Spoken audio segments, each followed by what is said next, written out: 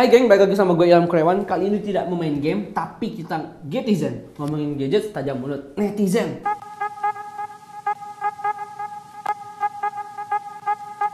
Nah, jadi buat kalian yang sebenarnya pernah diambang dilema untuk membeli smartphone seperti kebingungan antara milih chipsetnya atau RAM-nya atau GPU-nya atau internal memorinya dan lain-lainnya, aku akan memberikan penjelasan yang sedemikian rupa. Semoga kalian bisa mengerti untuk bisa memilih smartphone kalian lebih bijak lagi. Tapi ada beberapa mungkin statementku nanti akan tidak berhubungan atau kalian tidak mengerti. Kalian bisa tanyakan di kolom komen. Kalau misalkan ada beberapa statement gue juga yang salah menurut kalian, kalian bisa benarkannya juga di kolom komen. Tapi gue harap ini hanya diskusi ya. Jangan sampai aku juga tidak mencoba menanamkan ini ke kalian. Sistem on chip itu adalah istilah yang digunakan kepada smartphone untuk pergabungan antara dua komponen, yaitu antara CPU dan GPU. Oke, nah di HP itu, di smartphone itu, RAM dan chipset atau chipset sistem on chip itu sama-sama penting. Sama-sama penting. Berkata secara level. Jadi emang benar-benar susah bingung juga kalau disuruh pilih gitu. Tapi aku mencoba menjelaskan apa dari kedua kegunaan komponen ini. Oke, kita langsung aja. Pertama, sistem on chip. Jadi sistem on chip itu adalah otak, bagian otak dari smartphone. Jadi otak smartphone itu ada banyak, tapi bagian salah satunya adalah sistem on chip. Berperan penting, penting banget atau berfungsi sebagai pemicu RAM untuk mencari instruksi apa yang sudah kalian berikan. Misalkan aku geser ke atas, ini perintah untuk membuka HP-nya. Aku pencet ini perintah untuk mengunci HP-nya. Nah itu dipicu pertama oleh chipset. Lalu chipset akan menanyakan kepada RAM apa instruksi yang kalian sudah berikan kayak gitu misalkan kalian sudah memberikannya berupa banyak seperti ngetik main game dan lain-lainnya dalam bentuk dalam waktu 13 detik 12 detik ataupun sepersekian detik itu banyak sekali perintah yang masuk ke chipset indikasi kecepatan pada chipset atau misalkan kayak Snapdragon itu cepat dari mana? Itu ada dua indikator, aku bilangnya. Pertama dari core-nya, dan kedua dari clock speed-nya. Semakin tinggi clock speed, akan semakin cepat pengerjaannya dan penyelesaiannya. Semakin tinggi alias atau semakin banyak core-nya, akan semakin efisien pengerjaannya. Jadi kayak seperti tidak cepat panas. Jadi kalian pasti pernah lihat kan di smartphone kayak dual core, quad core, octa core. Semakin tinggi core-nya, semakin efisien pengerjaannya. Core itu ibarat kata kayak orang yang mengerjakannya. Jadi semakin banyak orangnya, ya semakin cepat kelarnya. That's the point. Jadi chipset itu ada pemerintah atau pemicu RAM untuk mencari instruksi apa yang kamu kasih. Misalkan kamu buka Mobile Legend, dia akan menanyakan kepada RAM, "Hey, Mobile Legend itu apa?" kayak gitu. Jadi kalau misalnya kalian mau buka foto atau kamera, "Eh, kamera itu apa?" Jadi akan menjadi kegunaannya chipset. Seperti itu. Lalu, apa itu RAM?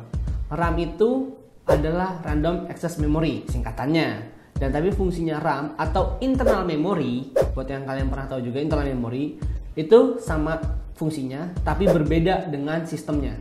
Misalnya kayak gini. Kan chipset ketika dapat perintah dia akan menanyakan kepada RAM. Semakin tinggi RAM-nya atau semakin hebat RAM-nya dia akan sudah tahu alias menghafal. Jadi RAM itu bekerja sebagai pengingat data. Misalkan kalian sudah pernah buka Mobile Legends sebelumnya, ataupun misalkan baru install, RAM akan menanyakan kepada internal memory dengan sangat cepat. Jangan dengan sangat cepat. Jadi kayak gini, misalkan meja ini, oke, okay, pertama anggaplah sebuah meja ini adalah RAM kamu. Ini RAM ya, yang hijau ini adalah RAM. Nah, benda-benda di sini itu adalah aplikasi kamu. Oke? Okay? Ketika chipset mendapatkan perintah, RAM akan mengambil kepada internal memory untuk melihat file apa yang kamu maksud. Misalkan ini anggaplah Mobile Legend, dia akan ditaruh di sini. Mobile Legend hanya mengambil misalkan sekitaran 512 MB dari RAM kamu yang sebesar ini. Misalkan ini 8 GB. Berarti hanya ngambil 512 MB, kecil. Terus tiba-tiba kamu buka aplikasi lagi. Ini belum kamu close aplikasinya, kamu buka lagi aplikasi, taruh lagi sini sama RAM. Terus ditaruh sini sampai akhirnya aplikasinya sudah banyak dan akhirnya RAM kamu sudah mulai melambat. Nah ketika aplikasinya sudah banyak ketika aplikasi sudah banyak mau ada lagi nih data beberapa yang masuk aplikasi lagi yang mau kamu buka. Nah RAM akan mengambil aplikasi kamu yang belum ditutup paksa akan ditutup paksa untuk membuat sebuah space. Jadi diambil aplikasinya dan buka lagi yang baru. Seperti itu. Dan ketika ada aplikasi yang baru yang lain lagi juga akan ditutup ditaruh lagi di aplikasinya. Semakin tinggi aplikasinya semakin besar dia akan mengambil space di RAM kamu. Jadi kalau misalkan RAM-nya terlalu kecil, maka kamu sebaiknya ketika sudah menggunakan aplikasi, kamu tutup paksa, kamu force close, kayak gitu. Dan jika misalkan emang ada beberapa aplikasi yang membutuhkan RAM sudah sudah harus besarnya, misalkan kayak game Fortnite tadi yang ku bilang, dia memiliki minimum requirement atau lebih tepatnya minimum pada RAM kamu yang punya Misalkan gamenya itu harus memiliki 6 GB. Jadi kalau RAM kamu di bawah 6 GB sudah pastikan tidak bisa mendownload atau menginstalnya. Nah, ketiga, jadi intinya apa? Pilih chipset atau RAM. Kalian mungkin mau tahu itu aja. Oke. Aku akan mendeskripsikannya dalam bentuk misalkan dari pekerjaan kalian. Pertama, kalian pastikan bahwa kalian tahu apa yang kalian akan gunakan pada smartphone ini. Jika kalian ingin menggunakan dalam banyak hal, emang akan lebih baik jika RAM dan chipsetnya itu setara levelnya. Misalkan setara, pertama yang pertama kalian harus lihat adalah ranking pada prosesor atau chipset. Kalian bisa cek dari internet. Nah, habis itu kalian baru sesuai dengan RAM-nya. RAM-nya carilah yang kecil, misalkan 2 GB. Bukan kecil karena bagus, tapi karena pasti kan lebih murah. Kalau misalnya RAM-nya tinggi, chipset tinggi, pasti kan harganya mahal. Selalu kayak gitu aja rumusnya kan. Menurutku, kalau pelajar sekarang itu mendingan kalian pakai Snapdragon 660 itu udah paling minimal. Kalau nggak Helio P30 dan P25 nah kalau misalkan beran disuruh pilih banget nih. Kalau misalkan emang banget harus disuruh pilih gitu antara chipsetnya lebih tinggi daripada RAM-nya atau RAM-nya yang lebih tinggi daripada chipsetnya aku lebih menganjurkan chipsetnya aja yang lebih tinggi. Karena nanti kalau misalkan kamu mau main game misalkan kan game umumnya kan hanya membutuhkan RAM 2 GB ya udah kalian bisa main game apa aja tapi habis main di close habis main di close kayak gitu. Sementara kalau misalkan game-gamenya emang dasarnya sudah berat atau grafisnya emang sudah bagus kayak Fortnite misalkan kalian mau main uh, eh, GTA juga atau misalkan mau main game lain yang benar-benar membutuhkan spesifikasi yang lebih gede emang agak sulit. Apalagi game-game offline kayak gitu. Dead Effect 2 misalkan Nah, keempat adalah kamu harus mengetahui ranking atau presisi dari prosesor. Misalnya kamu sudah memilih chipsetnya nih, atau bisa bisa dibilang kayak komposisi yang pas gitu. Kan tadi tadi aku bilang kan bahwa kalau misalkan uh, chipset dengan RAM itu tidak sebaiknya terlalu ngejomplang. Ibarat kata anggaplah misalkan smartphone itu adalah sebuah mobil yang kamu punya gitu.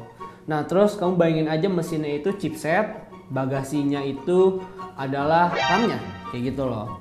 Jadi misalkan RAM-nya terlalu gede jadi kan mesinnya juga kayak yang aneh aja kamu lihat kalau bagasinya terlalu gede.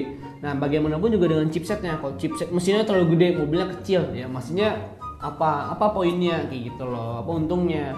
Jadi kalau bisa emang cari yang balance yang seimbang yang worth it. Nah, misalkan kalian mau mencari nih HP mana yang menggunakan chipset Kirin 710, misalnya kayak salah satunya Under 8X ini ah dengan harga 3 juta aku bisa mendapatkan RAM uh, 12 GB tapi misalkan chipsetnya uh, Snapdragon 450 yang ngapain juga geng kayak gitu loh. Mau ngapain RAM-nya tinggi banget gitu atau chipsetnya tinggi banget. Mendingan tuh seimbang. Jangan sampai kalian terlalu tinggi satu komponennya tinggi banget. Sisanya rendah-rendah-rendah itu yang namanya bottleneck. Soal kelima itu adalah rekomendasi. Jadi kayak gini misalkan kisaran juta menurutku lebih bagus itu Honor 9 Lite kisaran 2 juta menurut aku itu lebih bagus Asus Zenfone Max Pro M1 buat aku. Kalau misalnya kisaran 3 juta menurutku itu lebih baik Vivo V11 kalau misalkan untuk kisaran 4 juta dan aku saranin Samsung S7 oke? Okay? nah untuk kisaran 5 juta aku saranin iPhone 7 kalau misalnya kalian di atas 5 juta 6 juta itu mah kalian udah jadi kalian udah paham kan? Maksudnya kenapa uh, jika disuruh pilih antara chipset dan RAM kalian pilih mana? Nah kalau misalnya kalian punya penjelasan yang lebih detail dan membantu kalian bisa bantu aku di kolom komen. Jika tidak ya udah. Tapi nggak apa-apa. Buat aku kalau misalnya kalian ada saran dan pembenaran boleh juga dicantumin kolom komen. Oke? Okay? jadi buat aku itu aja. Bye.